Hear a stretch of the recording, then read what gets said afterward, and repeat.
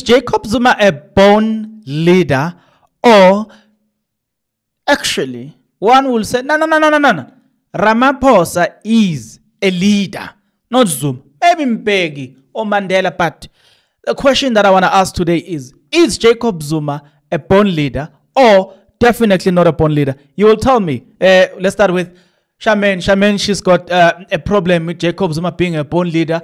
I don't know where she gets this audacity to say, yeah, yeah, he's not a born leader. Yeah, Charmaine, is Jacob Zuma a born leader or not? No, I don't. I don't think so. No, actually, let me not say I don't think so. Jacob Zuma is not a born leader at all, according to me, and according to what I've read about him, what I've seen him doing my conclusion is just straight and forward. He is not a born leader at all. Okay, wait, wait, wait, wait. I want to ask you a question. So you're saying uh, you are for Jacob Zuma. So tell me something. Is Jacob Zuma a born leader or definitely not a born leader? Well, I mean, Willie. Well, Jacob Zuma is definitely a born leader.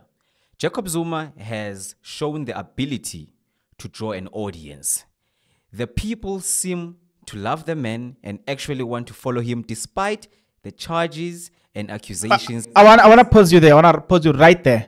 The question that I wanted to ask from you is Jacob Zuma a born leader or not? I was gonna come. I was gonna arrive at the point where I say substantiate. So is Jacob Zuma a born leader or he is not a born leader? Yes or no? Most definitely, Jacob Zuma is born leader. Okay, uh, I'm gonna start with you. I'm gonna need you to substantiate: is Jacob Zuma a born leader or he is not a born leader? Charmaine. Okay, so here's my case. Um, I'm saying Jacob Zuma is not a born leader, and according to me, we've we've we've had so many cases about this so-called leader that has so many followers. I mean, we have people that are following following him regardless of the accusations that he's been accused of. We can't keep on ignoring and ignoring the accusations that keep on popping up and paint him as this, you know, good Samaritan savior of, of, of South Africa. Literally, his fruits, the we know the tree by its fruits, right? So the fruits that he's producing are rotten. And we're taking that gladly and, and hiding it behind he's a good leader. Ah, come on. Okay, wait, wait, wait, wait. I want to ask you a question. Uh, so she's accusing Jacob Zuma of rotten and she has not yet substantiated the rotenism, right? I, I, I wouldn't blame her. Probably she has gone and checked and there were no facts. I don't know. She probably wouldn't find anything. Uh, all right, all right. Uh, um, you know, before we even take it any further, or rather, before we we go miles and kilometers, you know, with this whole topic, I want you to understand one thing that the people that you speak of are not stupid.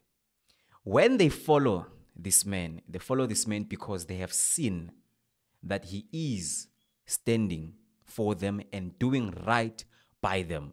How is this man doing right by them? He has constantly shown, time to time, that he is advocating for the black men and colored women. Uh, Indians and white people in this country. He has not left anyone. He has never. Okay, wait, wait, wait, wait, wait, wait, wait. Wait, wait, wait. What I want to know now, Charmaine, substantial evidence. Is Jacob Zuma a bad leader or is it Jacob Zuma a born leader or not?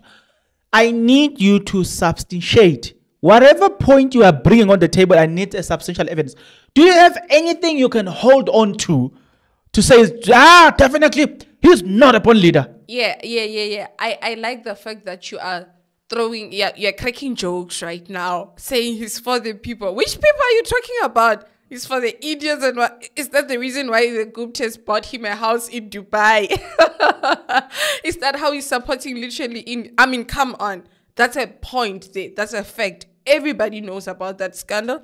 And also the fact that um his swimming pool costed millions and millions is that for the people? Are we still talking about no. uh, for being for the people right there? How many cases? I mean, should I go on let me let me give you a chance to just you know navigate through that and tell me that the swimming pool that costed for million is that for the people the house that the guptas bought him in dubai is that for the people is that how he's supporting the indian nation oh come on Okay, wait, wait. I need you to substantiate. She's saying, basically, she's saying, uh, based on the house, based on the evidence she's got that uh, there's a house that was bought for Mr. Zuma in Dubai. That's according to her. Uh, it's not. It's not. You know, you know, you're not paying for the people. Tell me what you, what you think about it. Well, she is questioning if whether President Jacob Zuma is for the people or not.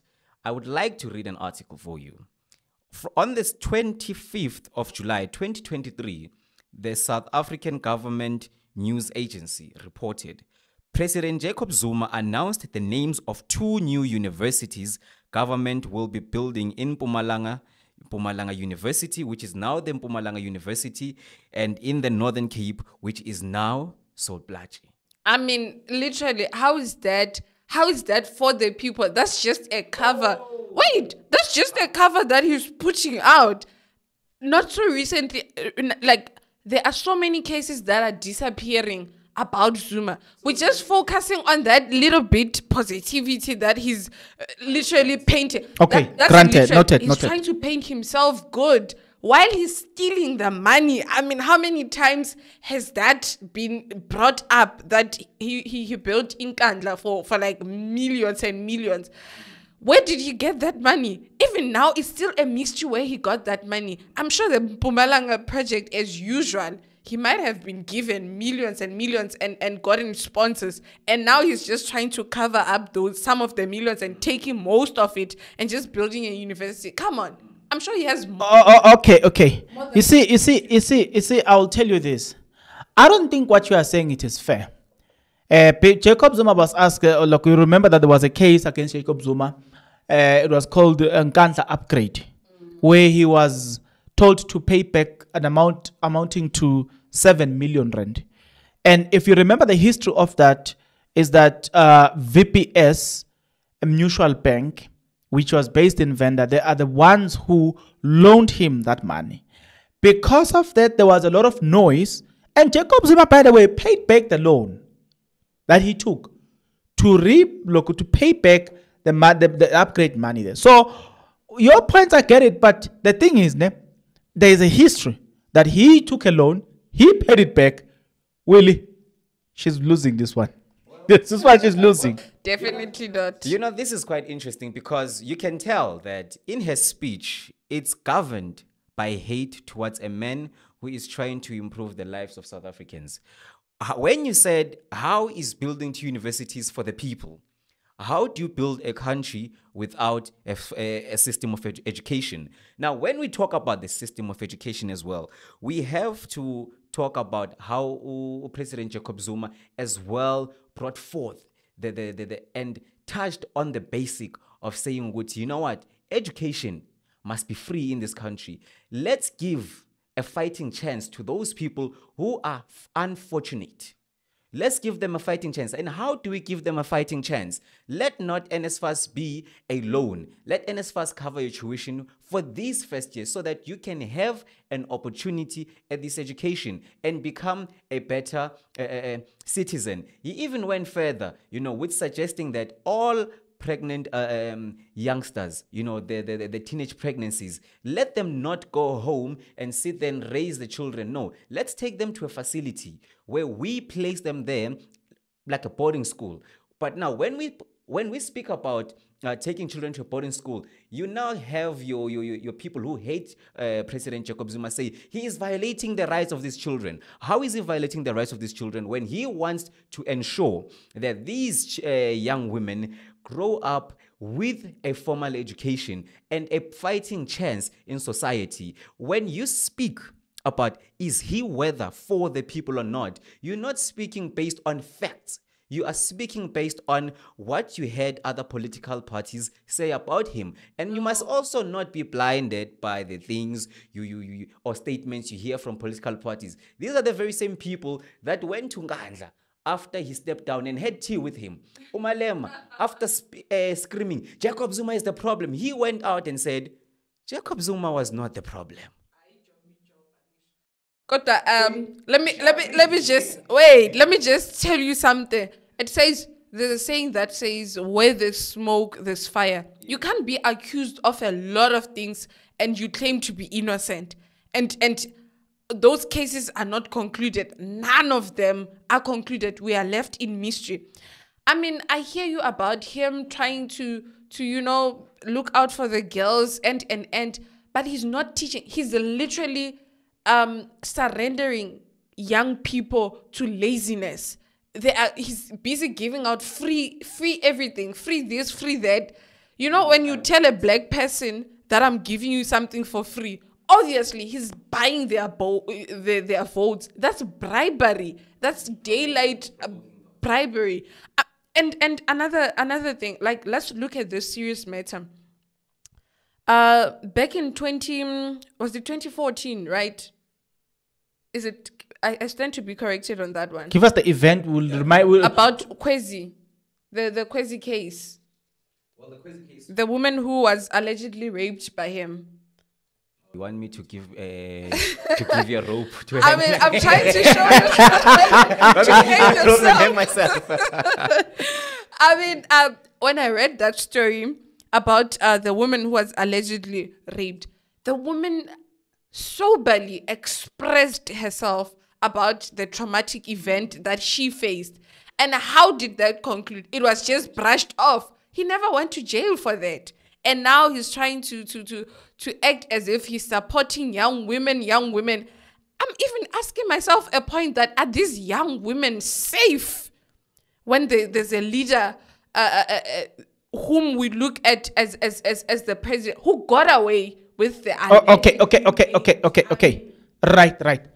Here's what I'm. Okay, here's what I'm thinking. We we will go around in cycles, right? I can I can see that you've got some me look things that you can point out and, and look from him, right? But here's here's my take. I, I want us to work together on this one. Tell me something. What defines a good leader according to you?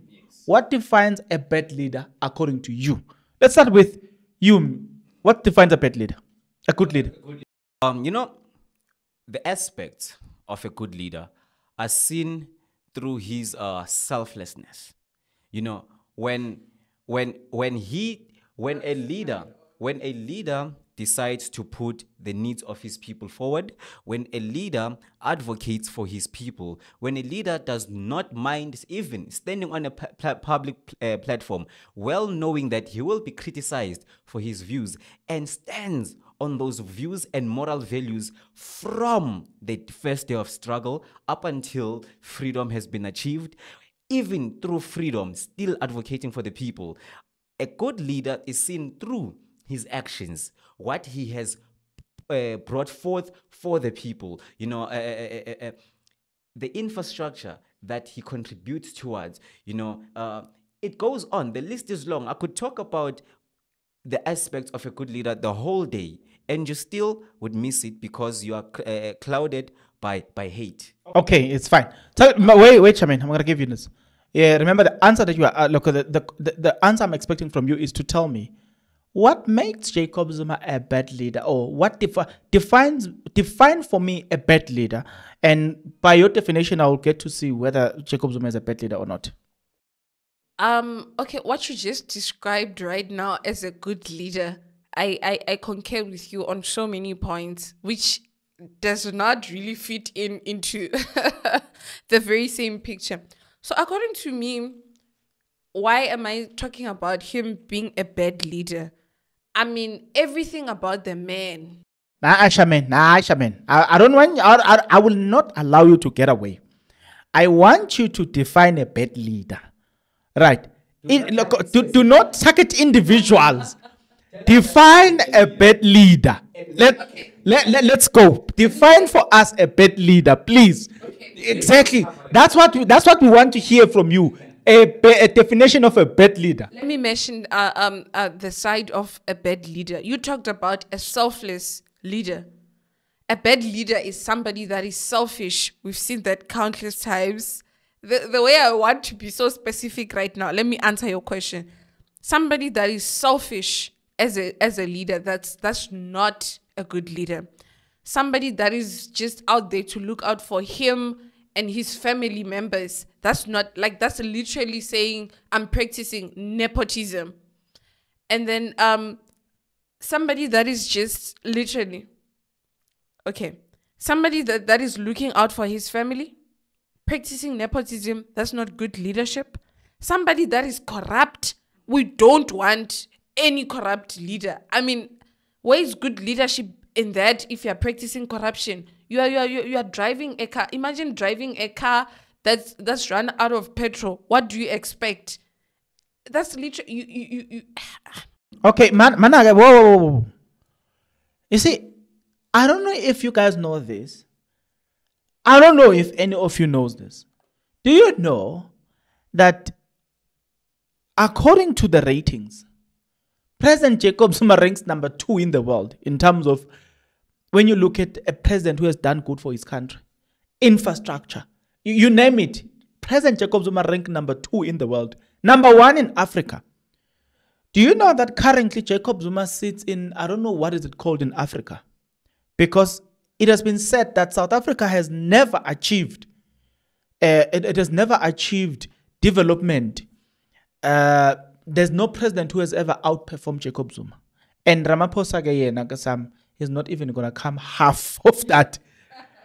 like whether you talk infrastructure, whether you talk uh, service delivery, when you look at the stats of Mbeki and then you look at the stats of Jacob Zuma, Jacob Zuma outperformed Umbeki. Now, I can listen all day long about a bad leader, but what I'm hearing, mina personally, is that every person has got weakness, right? That's why kunesisho sesizulu esithi "Akun- akukho soka linganasici. So, it's a fact. You know what? You know what? It's fine. You, you know what? It's fine. It's fine. It's fine. But but yes, it's fine. I'll, I'll give you. Um, I want to add on, you know, um, to also aspect um, of a leader just a little bit, and to to to to to just better give you an, an um, a better understanding in Africa. When you are considered a bad leader, you um you have to be hated by the minority. When I say you have to be hated by the minority, you have to be hated by the white people. Now, it was um, Samora Machel who said, The day I am praised by a white man, just know I have betrayed my people. And no white man praises Jacob Zuma. Why? Because Jacob Zuma, and I want you to uh, listen to me and listen to me very attentively. We have got a crisis in South Africa of Eskom. In 2017, uh, uh, uh, uh, um, News 24 rep- reported that on the 16th of December 2017, it says the Zuma administration launched the 1 trillion national infrastructure plan and signed a controversial nuclear power deal with Russia government blocked by the Western Cape High Court in 2017. Now the country keeps going into debt and will never come out of it. Now, what they said 1 trillion is a lot of money, 500 billion was raised within a short space in 2020. That could also have contributed towards that. We could have had this infrastructure being built now within the next coming 10, 5 years. Our problems with Eskom would have been gone. Now, again, when you speak about aspects of a bad leader, we have to look at his time, his run, and his reign as a president. In 2016, I, you can prepare. eh? Yes. In, in 2016, petrol, when the year ended, it ended with petrol being at 12 rand point 8 cents and diesel at 11 rand 2 cents. The rent to the dollar was not even anywhere close to 18 to 18 rand. It was playing at 13 rand to the dollar. We had a strong economy, our currency was strong, petrol prices were very low. Today, with the current petrol prices, back then you could have had two liters and change. Woo! Woo! Yeah, whoa, whoa, whoa, whoa, whoa. You, you just ignited something to me. So, uh, in comparison, in comparison, what I'm getting here is that the current one cannot be measured against the previous one. Never. The, the- the current one cannot, because w- w- what I'm hearing is that petrol was 12 rand something. Yes. Petrol now is 20, 22 rand something. Yeah, wait a minute. No, it's, it's the days that we are living in. Cost of living now is just it's just so high to to a point where I, I mean it's reasonable. Look at the times that we are living in. It it all makes sense. When Zuma was a president, yeah, things were, were lookable. I mean, it was it was by luck that he found it like that. Uh, we we have to give credit on that. Okay, I acknowledge that one. But I'm also mentioned I, I, I, yeah, she has, I- I- she has conquered. no, no, she no, has I'm not. conquered. I'm not. At the same time, I'm like, at whose cost was he lowering all that at? Somebody was paying that price. Yes. Somebody was paying that price that uh, everything was looking like it's, it's it's very very low. I wanted you to tell me about the Duduzane Zuma case, the car i- uh, uh, uh, accident one. Oh, Can just give okay, okay, okay, okay. Uh, I want you guys to tell me: Is there a leader in history that does not have mistakes? Ju- a- anyone, whether you talk of Martin Luther, whether you talk of, I, I don't care who that leader is. Whether you're talking of Nelson Mandela, is there a leader without no mistake? We, I mean, sorry, with no mistake. So I'm gonna start with you. You know, when we're talking about the, I would want to actually uh, come on our dear beloved Babu Nelson Mandela. As great of a man as he was, I believe he made one of the greatest mistakes in this country. As great as President Paul Kagame is, and looking at what he has done for his country from 1994 to date, there are people who still deem him as a bad president. Why uh, uh, uh, am I saying Paul Kagame and Jacob Zuma deemed bad presidents? Because there are certain aspects that they've decided to ignore that are controlled by people with money the people who control uh, the, the, the, the, the, the currency of the country through sabotaging the rand. When we had President Jacob Zuma, constantly we were told about junk status, junk status, junk status. Why were we told about junk status when petrol was 12 rand, but now petrol is skyrocketing, 20 something rand? But no one has ever mentioned anything about junk status. When the name uh, Jacob Zuma is raised, initially the, the rand has lost its value. Why? Why didn't the rand lose its value when COVID 19 hit? What is this man associated with?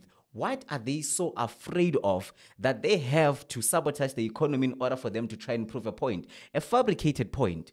What is the problem in this? When I say uh, our dear beloved uh, Mr. Mandela made a mistake, I'm gonna have to cut you there. I'm gonna have to cut you there. Uh, Charmaine, is there a leader without a mistake in in, in, in in history?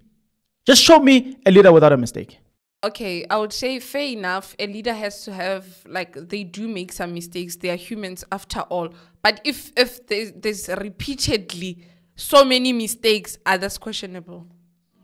Okay, you know it's what's my problem, guys. My problem is the fact that uh, we can sit here and debate and all day long about this one is a bad leader, this one is a bad leader. But at the end of the day, even the so-called good leaders have got the same mistake. So for me, I would say how one should judge bad or good is basically when we say the good in the person outweighs the bad. And that's the only time I conclude that this person is good. It's just like getting getting married. The bottom line is that you are gonna get married to a person with mistakes. It's a bottom, it's a fact, right? That does look does that make that person bad? No, you're still going to continue to marry that lady. Why?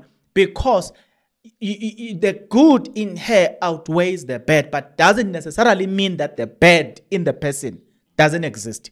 So, yeah, I think eh, I, I wanna I wanna end the episode for now. But let me give you. I, I can see you are burning. Let me give you this one.